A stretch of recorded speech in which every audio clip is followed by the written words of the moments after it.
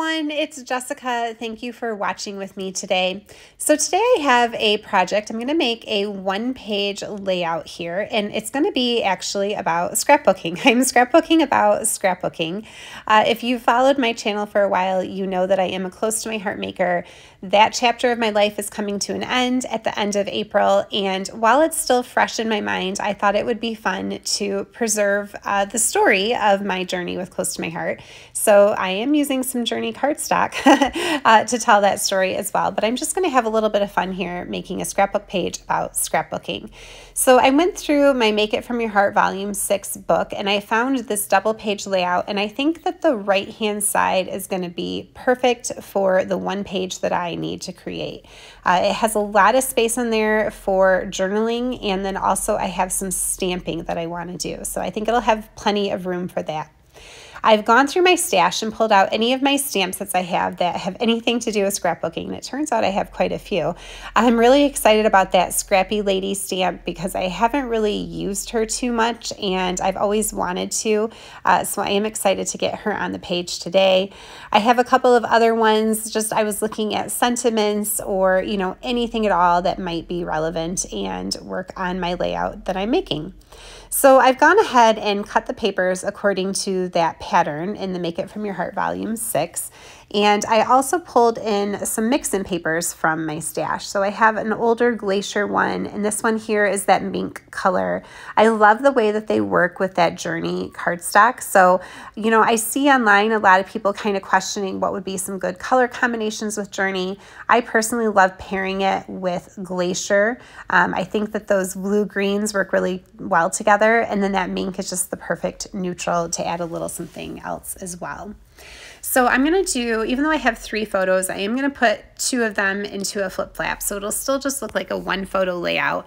And then like I said, I like this pattern because it gives me a lot of space to include the stamping down there. So I'm going to stamp my Scrappy Lady um, and put her down in that bottom corner of the white space. Now to prepare my papers, I am going to grab some coordinating ink colors and edge distress most of them. Um, and so I'll just take a little bit of time to swipe direct to paper to them. That's the way I usually do it because it's faster. And then I thought that it would be fun to also bring in a little bit of yellow. That's another color that I find works really well with that Journey color. So again, if you're kind of looking for a color palette for Journey, um, I think Glacier and then this is Honey Butter. Uh, those are ones that pair well nicely with it. Uh, rather than ink distressing this one, I am going to use my little sanding disc to scratch the color off of it and reveal the white core. I love that kind of edge distressing and I do that quite often to my cardstock.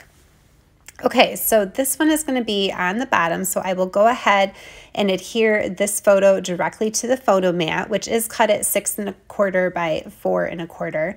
Um, now I only have room for a four by six in that uh, flip flap, so that's fine. Um, by the time I adhere all of that together, um, the two photos in the flip flap will just kind of sit over top of this bottom one and still look like they're matted, even though I can't get that four and a quarter by six and a quarter mat into the flip flap. Now I decided to stamp my lady and fussy cut her because I'm going to do a little bit of ink blending on that white cardstock that I've got going on my layout. So I did use the Tri-Blend markers to color her in and it was a lot of fun.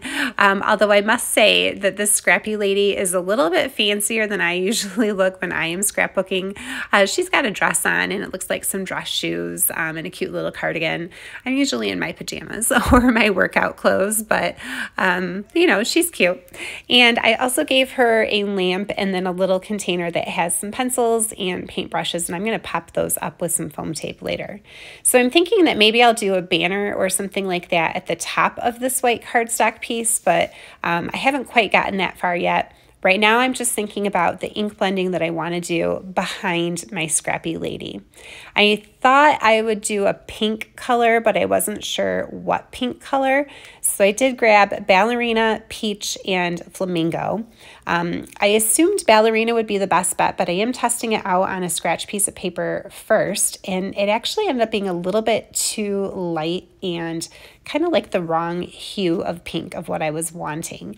I assumed Flamingo would be too dark, but actually when I tried it on that test paper, it ended up being perfect. So that is one thing that I do love about blending brushes is that it's such a light application of color that you really can control the like the richness of the color and how dark it appears because you have to build that that color up as you layer it on. Uh, so I was really able to control how pink it was behind my scrappy lady. And that's just one of my favorite things about scrapbooking. I love stamping. I love coloring with the Tri-Blend markers. I do love ink blending. Um, and then I also really love my white gloss splatters. So I'm bringing in my Dina Wakley white gloss spray. And I'm thinking probably in a couple of the corners, I'm going to put a few of those drops on there. So um, I will pull out my all-purpose mat here. That way it will make cleanup a little bit easier. Uh, sometimes I get lazy and I don't pull out a splatter box or my all-purpose mat. And then when I go to do my, my gloss splatters here, I just end up with them all over the table and they don't clean up very well um, if they will stain. So I just did do a little bit of careful splattering today. But I like those white drops. It's another one of my favorite things. And then I'm going to go ahead and adhere that flip flap in the bottom photo. And like I said, once you flip that down, it does look like the other two have that yellow photo mat on there as well.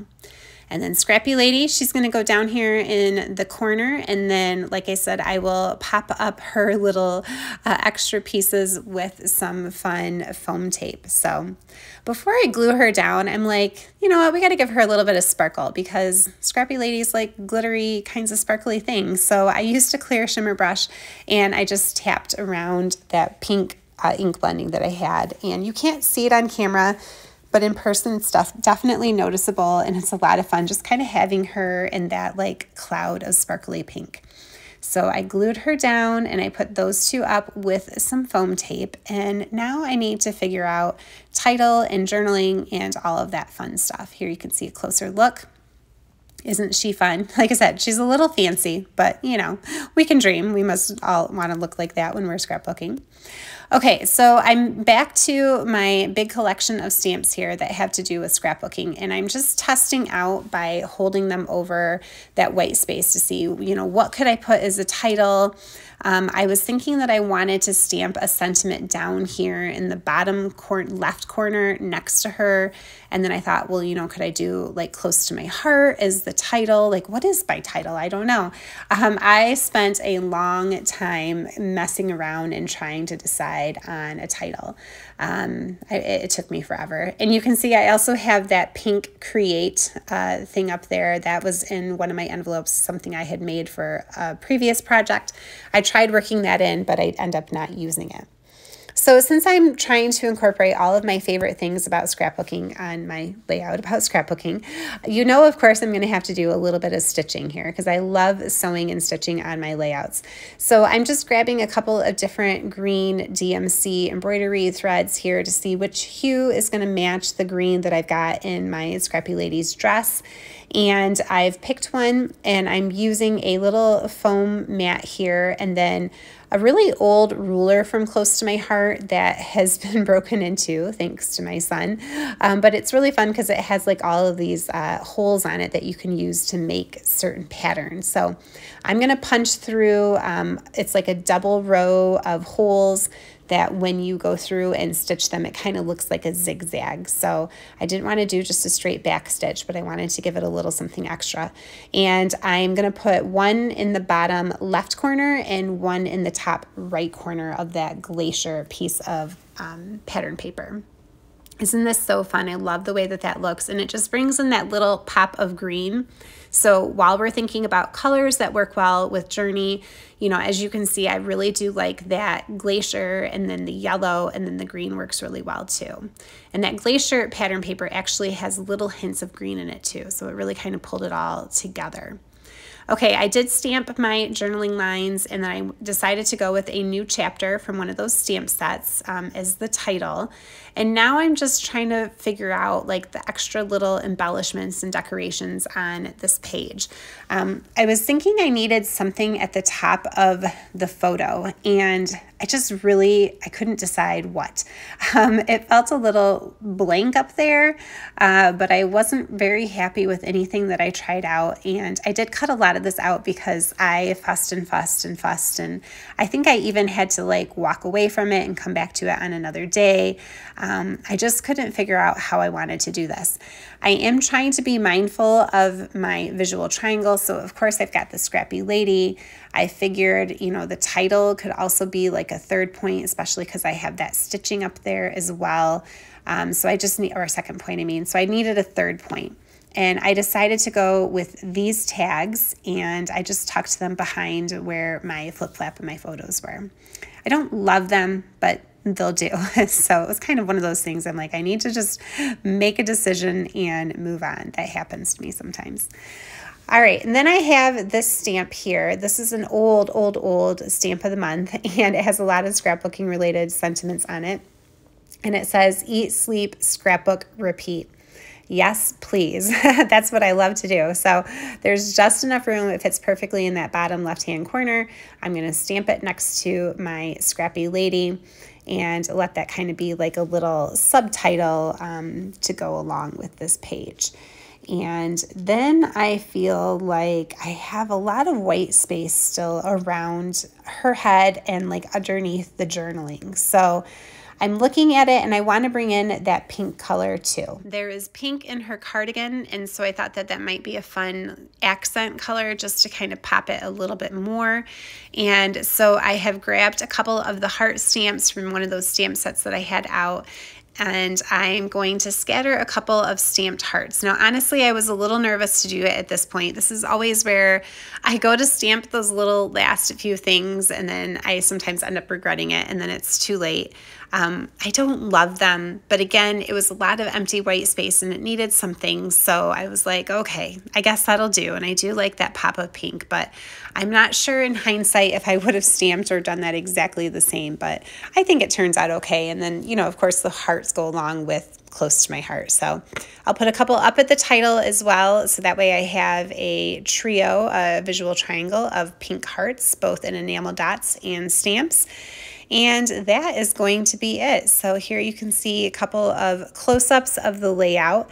And again, just I, I really like this color combination for Journey. I see a lot of people kind of questioning that. I know there are so many other ones that work really well too, but if ever you are kind of stumped, maybe try pulling in Glacier and yellow. That green and the pink work well too. Um, and then I don't know, has have you ever scrapbooked uh, yourself scrapbooking? Because I don't know, it's kind of a big part of my life, and I definitely wanted to record the story of it. Thanks for watching with me today, and happy crafting. See you next time.